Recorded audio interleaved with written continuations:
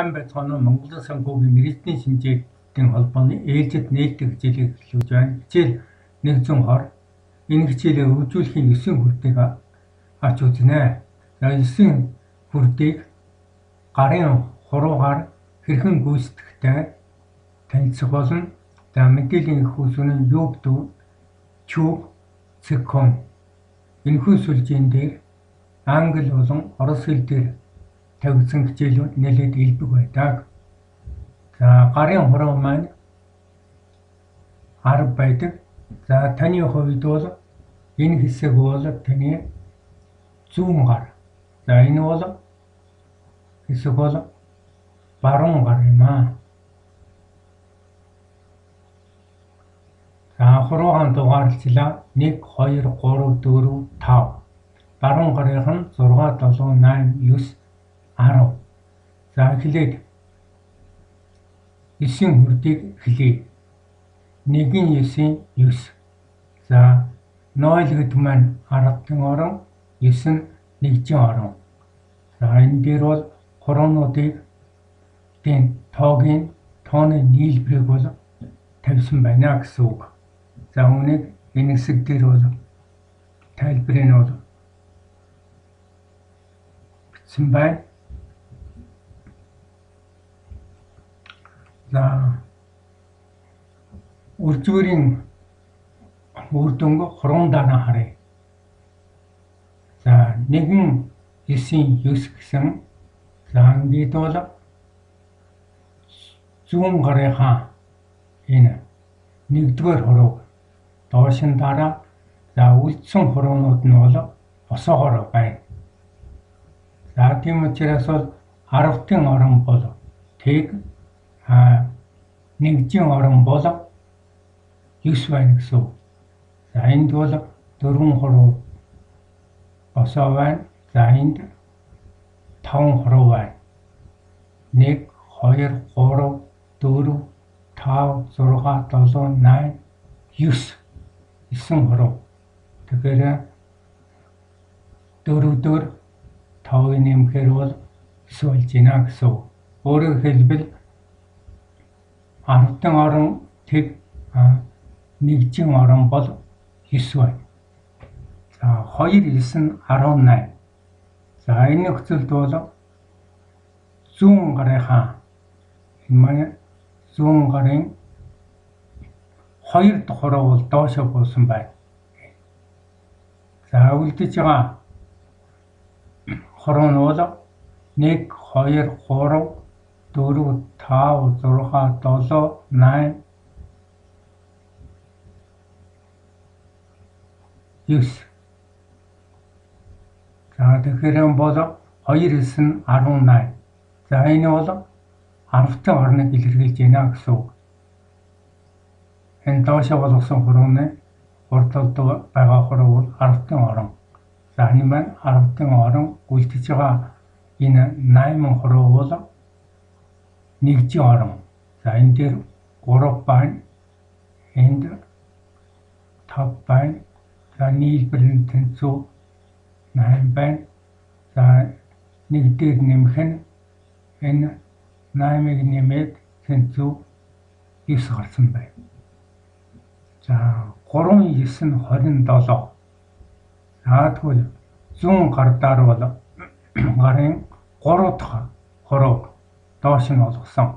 За энэ доошин болсон. За тэгэхээр энд бол 10-ын орон 2 байх нь 1 2 энд 1 бай, энд 2 бай. За үлдэж байгаа хэсэг бол нэгжин орон илэрхийлнэ. 1 2 3 4 5 6 7 за энд 2 энд 5 байна За ингээд нийлбэр бол 7 болж байна гэсэн үг. Энд. За энд бол 2 бай. За энэ 2 бол 10-ын орон. За ингээд энэ 10-ын орон, энэ нэгжин орон. Хуруунуудын нийлбэр бол 9 байна. За одоо 4 9 нь 36. Зүүн гарын дөрөв хурууг доош нь буулгасан. 1 2 2 3 За тэгэхээр бол 36 гэсэн энэ гурван хуруу бол доош нь болсон 10-ын орон 3 учраас энд үчлээ.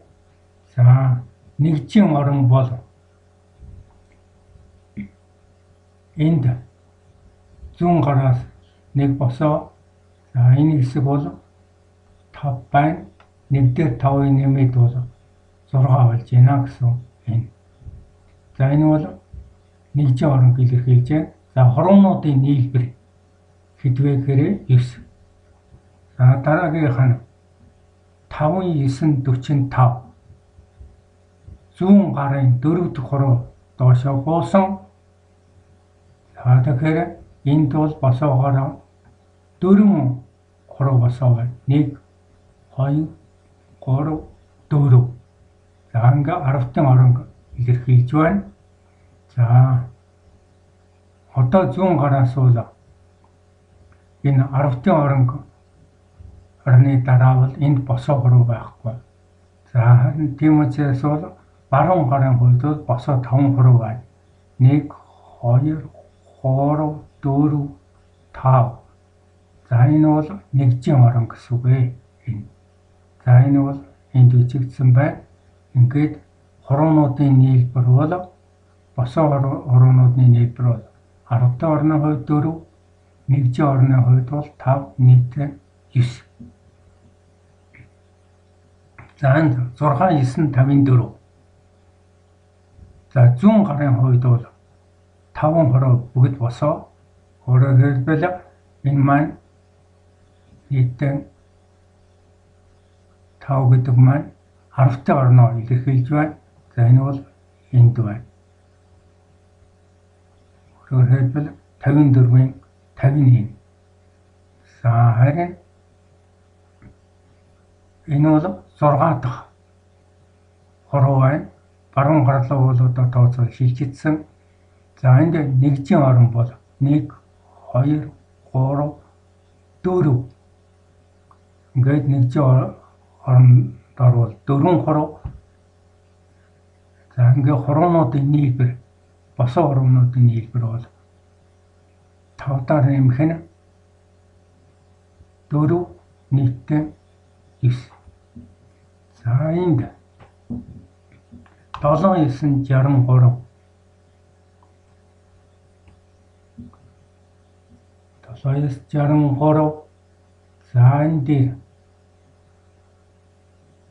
зүүн хорооны зүүн гарын 5 хороо баруун гарын 1 за ингээд 5 дахь нэмэх нь нэг нийтдээ бол 6 байна. За ингээд 10-ын орон яг энэ илэрхийлж байна. За баруун гарын хувьд бол босоо энд 3 хороо байна. 1 2 3 За энэ маань нэгжийн орон илэрхийлж байна. За ингээд босоо хуруунуудын нийлбэр бол 9 байна. За энд 8972. За 8 дахь хурууг доош нь болгосон. За тэгэхээр 10-ын орон бол энд 5 хуруу ингээд 1 2 5 6 7 гэсэн үг. За энэ 7 бол дэрвчилээ. За тооцоол баруун гарт шилжсэн босоо хороо 2 байна. Энэ хоёр бол нэгжийн орон илэрхийлж байгаа. 1 2 За энэ бол энэ байна гэсэн үг. За ингээд босоо оронуудын тоо бол мөн 9 болж байна. За энд 9 хүрд За 5.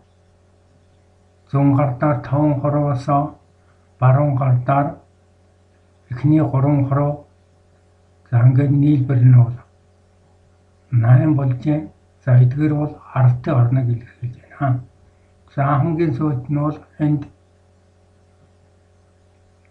нэг байна энэ бол нэгжийн орон. Хороонуудын нийлбэр 9. За энэ хамгийн сүүлчийн тооцоолыг илэрхийлж байна.